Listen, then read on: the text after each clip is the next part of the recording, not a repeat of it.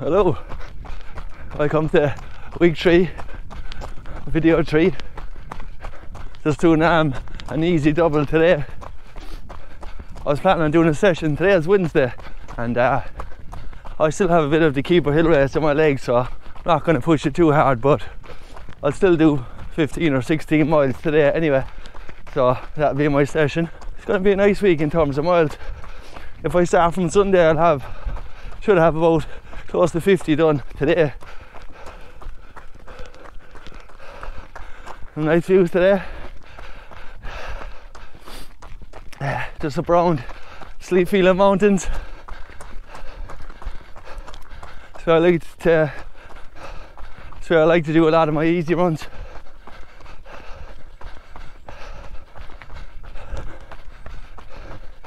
And in terms of mileage and sticking to the 80-20 principle, I usually try to do it.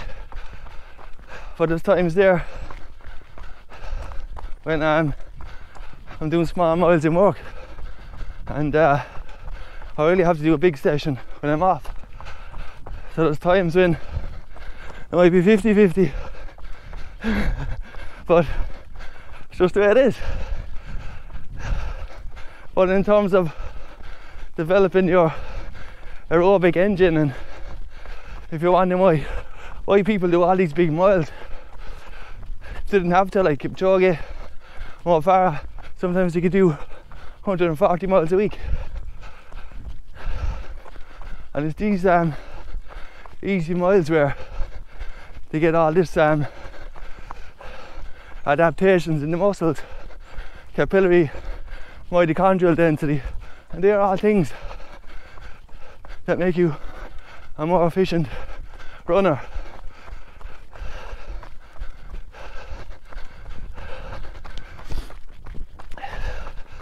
And um, definitely beneficial to getting lots of big base miles when you're starting your marathon because the bigger your aerobic engine, you know, the more potential you have and it also pushes up your other zones. So the more economic slash faster you can run easy, the easier your marathon's going to be. Quite simple, really. Lovely day today. Listening to the sounds of nature. Shift does a lot of bad things to your body. But you know, being able to run up here on a midweek, if your children are at school or whatnot, if I do any benefit.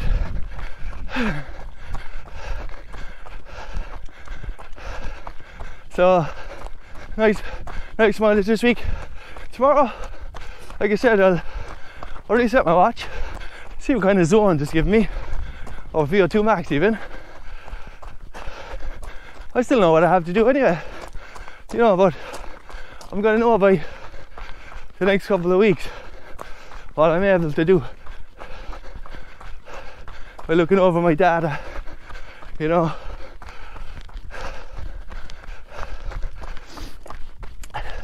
That's one of the good things about having done the time already. You know, gives you a little bit of confidence probably overconfidence to be honest because I know I definitely said harder the last time but uh, I give it a shot anyway. Why not? I got nothing to lose and um, I guess I'll touch base tomorrow. I did 40 minutes. Threshold last week just a bit faster than marathon pace. Just stay in the zone. This week I might add 10 minutes on every other week to build it up. And the same will go for my uh, faster kind of like the threshold runs. The two minutes on, one minute on, all that stuff. I'm gonna build that up as well. I'm still gonna tip away in the hills for the next few weeks anyway. And I might even do a session up in Keeper or Moylussa. And uh, I'll see you tomorrow. That was uh, Wednesday. Therefore, if we come from Sunday, you know, you can reset your watch on the Garmin app. Allows you to pick the day your your week starts from. And where my shift works, starting from Sunday or even a Saturday is better for me. Um, so that's what I did. So I'll see you tomorrow.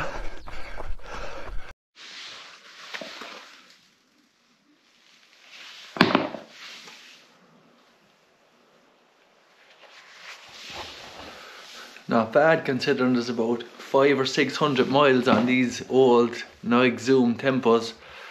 Um, I put a link up there a couple of weeks ago on the Limerick running page um, about 50% off the tempos and obviously I invested in a pair so it's time to time to test them out now and break them in the hard way which is straight into a marathon pace run.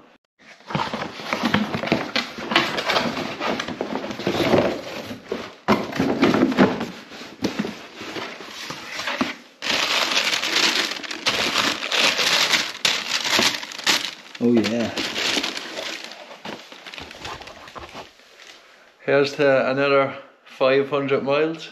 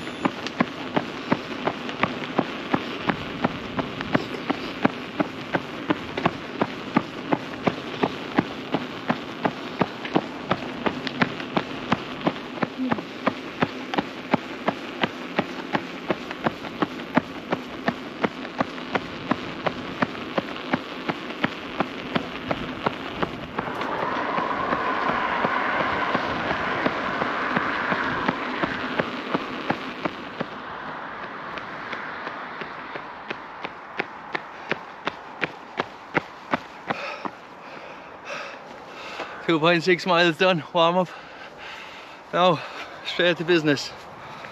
I'm gonna do eight miles at marathon pace just to see where the heart rate's at.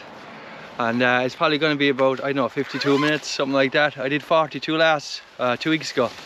And um, every every other week I'll probably do a bit of this just to get used to it, like, you know, till I find till I do the final 16 at marathon pace. So obviously getting lots of these marathon pace runs in, it's gonna make that feel easier and obviously get ready for that marathon at 2.29.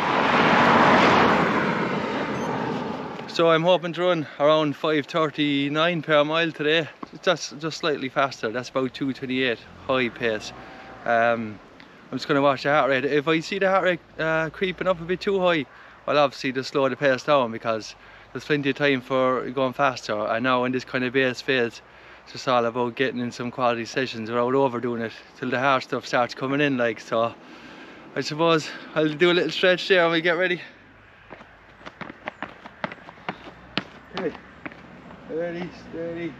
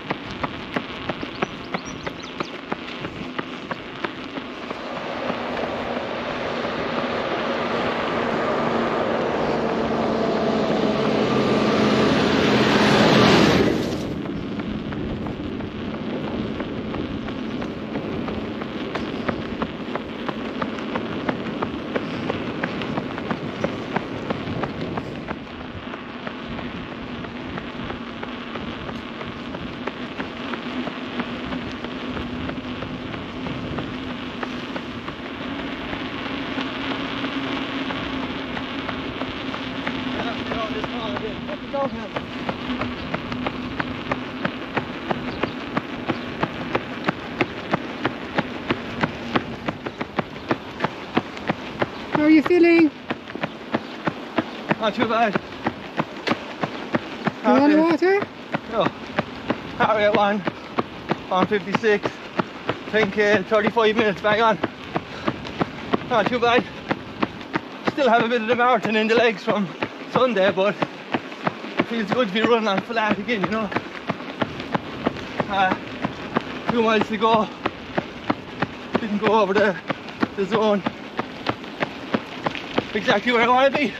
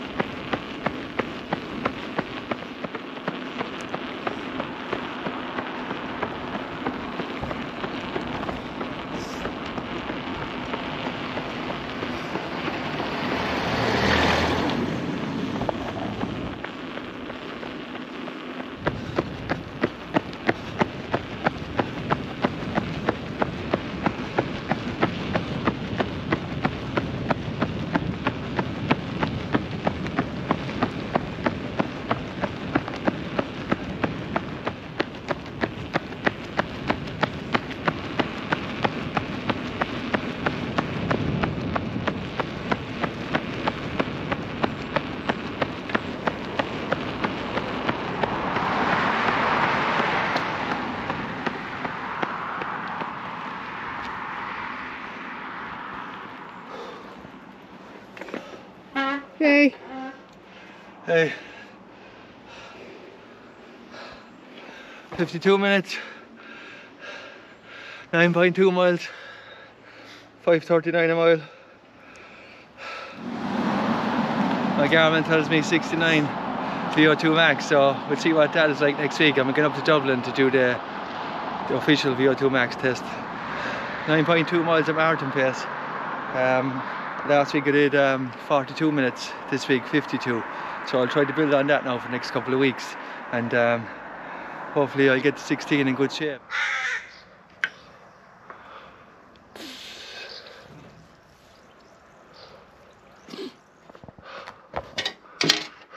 Cheers. 9.2 miles at marathon pace done. The heart rate was exactly where I wanted it to be. The heart rate was about 155 beats per minute, which is well under the 160 that I normally use as a guide, so I'm very happy with that. There was a bit of glitch for the last two miles on the heart rate, like, but I knew I was kind of comfortable enough anyway, so I didn't really take notice of it. Uh, sometimes if your heart rate spikes up like that exponentially, you know, it's just it's obviously a glitch, like so. There are things you get used to. You, you know, you know how you're feeling, you know your body, like, but in terms of that workout now, it was brilliant. Like, really happy with it. Um, I'll probably add another, you know, a couple of minutes onto that the next time we do it, and I'll keep building it up now for the next couple of weeks.